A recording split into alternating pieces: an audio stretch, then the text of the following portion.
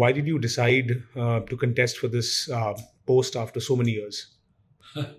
well, quite frankly, um, this has been going on for the last three years or so.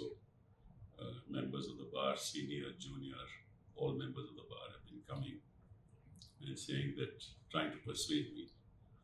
I have been resisting it because it's a lot of responsibility. Uh, and of course, this year, um, all of them came together and uh, and I understand that there are huge challenges that are facing the legal profession. Challenges relating to the new entrance of the bar, challenges relating to the relationship between the Advocates on Record Association and the registry, challenges relating to how case suddenly uh, listed at 11 o'clock at night. Um, and uh, each court follows its own procedure as to which matter will be heard first. Nobody knows about it till the morning. Um, challenges in respect of, you know, the, the uh, respect to members of the bar. These are all issues that uh, are very important. And of course, the need for coordination between the Advocates on Record Association through an institutional mechanism with the bar as such, connectivity with other bar associations in the country. You must also remember that the legal community was at the forefront of change. Right. Right. It's at the forefront of the national movement as well. And we've lost that, you know, that that will to be part of the mainstream of this country and and and be at the forefront of change. So if you can recollect um, among the past SCBA presidents, whom do you think has contributed the most to the bar? I'm not going to I'm not going to answer that question for the simple reason that all of them who have been in this position have tried in their own way to do what they can. Okay, okay. Um, so the last year saw a lot of instances where the SCBA had written letters to the Chief Justice of India regarding judgments, etc. Later on, there were fissures that were becoming apparent within the body itself, with the you know president taking a stand and the body yeah, taking you know, a stand. This is very what you're asking is, is a very important uh, issue.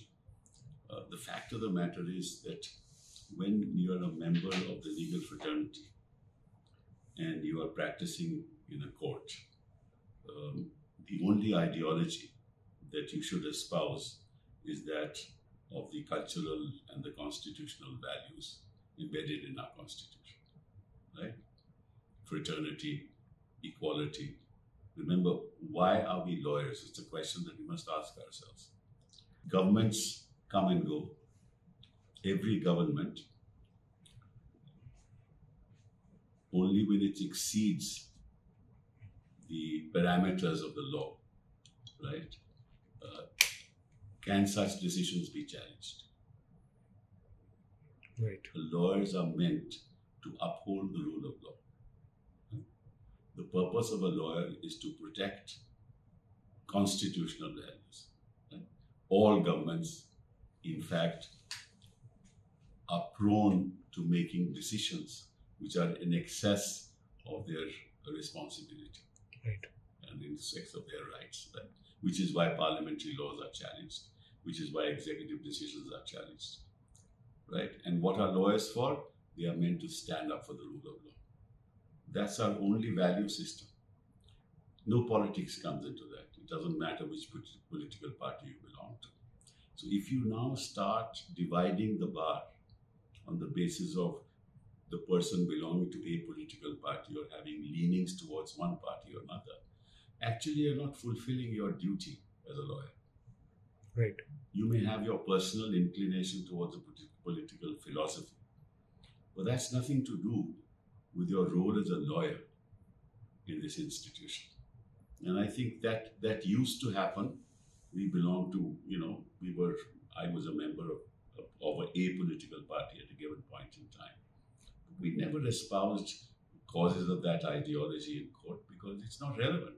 In a court, what's it? We are either challenging a legislation, saying that it is in violation of my fundamental rights, right? Or we're challenging a government decision which is in excess of the powers of the government. Or we are saying that, look, this particular legislation impacts this class of people, right? And therefore, uh, this is unconstitutional. So these are the challenges in court. Right. Now, those are challenges which have nothing to do with ideology. Right. Right. And people will appear for one party or another, but a member, a, a, section of the bar must not associate that person that he is appearing for that that inst- that, that that section of the people because he's anti somebody or pro somebody. Right. He has taken a brief, right, and uh, he's arguing that brief. For example, the matter of policy. I believe that those who are indigent, those who don't have the wherewithal, don't who, who has no access to courts, I would love to appear for them, as I have done in the past. I've done it as a young lawyer. I've been doing it throughout. Now that gives me pleasure. Now money is irrelevant in situations like this because I feel that those people can't does don't have the wherewithal Right. to afford lawyers' fees. That's a, that's that's nothing to do with my politics. It's something to do with my commitment and as I see the profession. Right. So if I represent a particular institution, will belong, say, to the minority, right? I am doing it as a matter of law, right? Right. And nothing to do with politics. So, how do you see the bar evolving now since the last time you were the president in the 90s compared to now, 2024? How has the bar evolved? But you know, things have changed, radically changed. And things have radically changed because of the fact that many more members have entered the profession. Right. And many of them are young people who suddenly decide to start practicing in the Supreme Court. Right? There is no bar, nothing wrong with that, but they're not practicing in the Supreme Court. Many of them don't have too much of an experience. And many of them don't have access to chambers who can pay them well. Uh, so many of them have to have a place in Delhi, have to have a library, have to have a wherewithal to reach the court. Uh, they, they also have to have clerks. They have to rent a place. Now, all that needs money. And so you should be earning enough in your profession to be able to afford that. Many of them cannot. And if somebody falls sick in their family, where do they go? So these are issues that impact every member of the community, which was not so earlier. Okay. Which was not so earlier. So there are huge challenges uh, that young young lawyers have to face, and and there's no institutional mechanism to deal with. And so, um, what are the, you know, if, if, if you could just list down the top five things that you wish to do or you aim to do for the bar once you're elected as the SCBA first of all, it's not a question of what I wish to do, aim to do. I tell you what I have done in the past. Okay. All right. This bar didn't have a drinking water facility. I organized that. This bar, I set up a railway center here. At that time, remember, you had to lawyers had to go to the railway station to book their ticket. I'm talking about the past, Right. right? I organized a railway center here. The canteen downstairs was organized by me. The RK Garg uh, old chamber library was set up by me. So, as and when issues arise, we do what we have to do.